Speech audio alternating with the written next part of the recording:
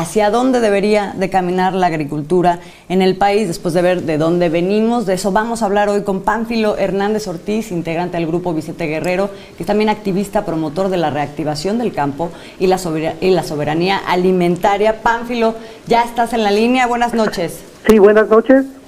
Pues estamos, bienvenido, estamos, estamos viendo que es un problema que tiene un largo alcance, digamos, hay toda una historia en donde ha venido penetrando cada vez más la utilización de este herbicida, ya prácticamente hay una parte de la agricultura que es dependiente de él y eh, uno de los grandes problemas justamente es cómo, cómo se ha querido establecer el debate como si, como si fuera entre quienes quieren garantizar la soberanía alimentaria y quienes quieren eh, garantizar un tipo de agricultura sustentable. No necesariamente eso es así, ¿o sí, Panfilo?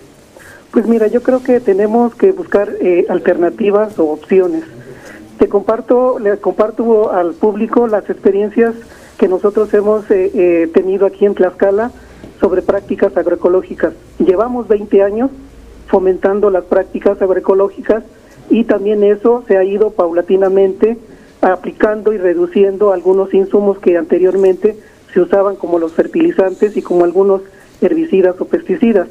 Y yo creo que paulatinamente tenemos que ir también dejando o se tiene que ir dejando este herbicida, glifosato, que pues para muchos les interesa en la parte económica, para muchos les interesa por la parte de los agronegocios, pero también hay que tomar en cuenta los efectos que produce principalmente en la salud, que hay más estudios, pero también hay efectos sobre el suelo que nosotros tenemos mucho miedo en que si se sigue usando, los suelos van a seguir perdiendo esa fertilidad que en algunos momentos pues la agricultura campesina o la agricultura o la agroecología pues viene recuperando. Y yo creo que tenemos que, eh, como tú decías, eh, entrar en mesas de debate para analizar. Paulatinamente yo creo que se puede ir eh, dejando, cambiando, como nosotros hemos hecho con la agroecología, ir innovando, ir haciendo cambios también en esta agricultura que no queremos que se use insumo químico ni pesticidas. Y yo creo que estamos también en esa posición. Algunos dicen que somos radicales, pero yo creo que no, que tenemos que buscar alternativas porque en principio es primero la salud de uno, segundo la salud del suelo y tercero también cómo conservar un medio ambiente que no afecte a aquellos insectos o polinizadores que tienen que ver mucho en la agricultura y que si en algún momento no se reduce o no se disminuye el uso de glifosato, los polinizadores, que muchos no lo tomamos en cuenta así, como son las abejas, como son las catarinas, como son las avispas, que juegan un papel muy importante en el manejo y control de algunos insectos o enfermedades. Y yo creo que también tenemos que eh, ponernos de acuerdo y también compartir todos los todos los trabajos que nosotros hemos desde hace 20 años hecho con prácticas agroecológicas y que nosotros hemos reducido.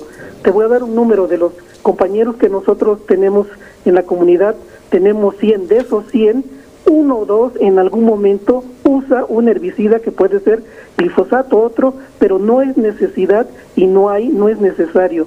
Si no llevamos prácticas agroecológicas en el suelo desde que termina la cosecha, incorporar, mover el suelo para que las plagas disminuyan, pero también manejar las plantas o las hierbas, como le dicen algunos, las malas hierbas que nosotros son arbenses, algunos trabajos pueden ir reduciendo paulatinamente. Nosotros sembramos una aproximadamente de 220 hectáreas y en esas 20 hectáreas un noventa y tantos por ciento más eh, aplicamos prácticas agroecológicas y los insumos los hemos ido disminuyendo. Pánfilo, ¿cuáles son las opciones durante esta prohibición progresiva de aquí al 2024 para dejar de usar esta sustancia y alcanzar una soberanía alimentaria en nuestro país? Esas opciones que tú mencionas. Yo creo que estas opciones eh, eh, las, las tenemos en, en, en muchos estados. Las experiencias campesinas con prácticas agroecológicas han servido y han recuperado suelos, incluso te puedo dar aquí números en Tlaxcala, que hace años los suelos estaban erosionados y poco a poco con prácticas agroecológicas, primero es recuperar la fertilidad de los suelos. Ahora, si no recuperamos la fertilidad de los suelos, la parte productiva no va a ser una opción para, para aumentar o tener alimentos. La otra es que estas prácticas también cuando los cultivos tienen que llevar un trabajo y quitar las hierbas, ¿sí? Todo lo de las prácticas agroecológicas te podríamos dar, bueno, podríamos hablar desde una a dos, tres horas, pero de todos modos invitar al público, en el caso de nosotros que estamos más cerca, que visiten la experiencia, no el modelo, porque una cosa es una experiencia y otra cosa es un modelo, como en el caso de la agricultura industrial que tiene un modelo agroindustrial o industrial y en esta parte es las experiencias agroecológicas aquí en Tlaxcala, en Puebla, en Michoacán, en Quintana Roo y en Chiapas y esas serían también como las opciones porque la agroecología no es un modelo, sino que también tenemos que tomar en cuenta qué tenemos en una región, en un municipio, en una comunidad o en un estado y a partir de ahí ver cómo sucesivamente se va disminuyendo e incorporando algunas, algunas prácticas más naturales.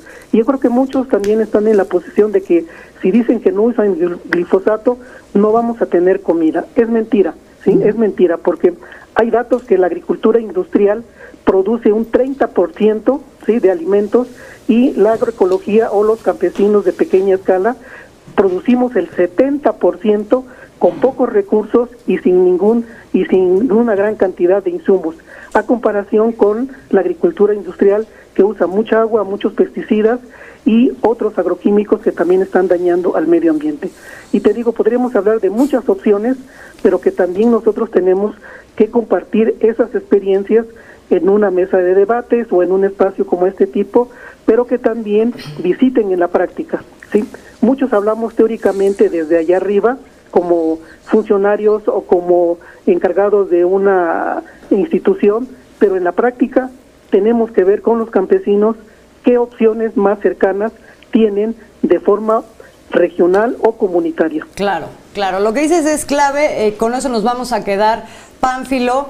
Es clave encontrar el caminito de regreso para garantizar la salud de las personas, del medio ambiente esto hay que discutirlo mucho, hay que abrir la información, hay que justamente de dejar de estar en medio de debates que son falsos debates. En fin, Pánfilo, te agradecemos mucho que hayas estado con nosotros, eh, que hayas platicado con nosotros y seguiremos, seguiremos platicando en el futuro. Sí, y ustedes también por dar este espacio para seguir compartiendo esto. Y no somos radicales, tenemos también opciones que pueden mejorar nuestra calidad de vida y también la calidad de vida del suelo y de nuestro medio ambiente. Gracias. Gracias.